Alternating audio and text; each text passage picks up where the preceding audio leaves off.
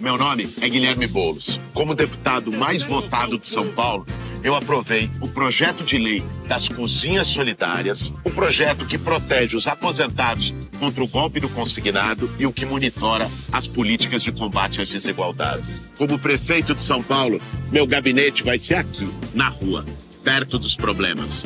É assim que eu sempre vivi e é assim que eu quero trabalhar pela cidade.